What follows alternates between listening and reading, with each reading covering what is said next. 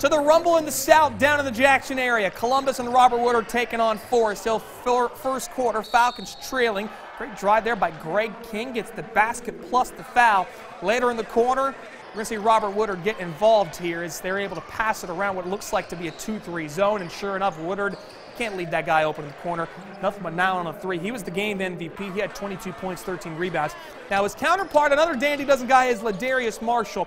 Uh, dude's got hops. Watch him come down the lane with a two-hand throwdown. Very nice. He had 20 points, and eight rebounds, but not to be outdone. It would be Mr. Woodard who came back with the tip slam right there. Hide the women and children on that one. Falcons get the win over Forest Hill, 49-42 with the Rumble in the South. Woodard